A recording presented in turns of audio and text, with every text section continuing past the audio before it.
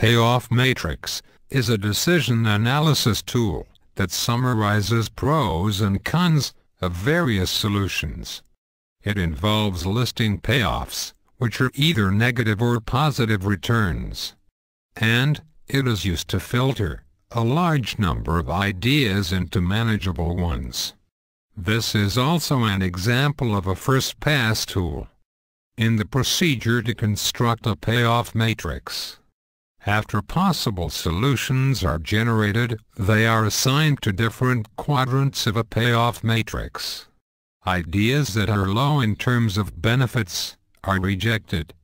Discussion is focused on high efforts, or high benefits, and rationalized for implementation.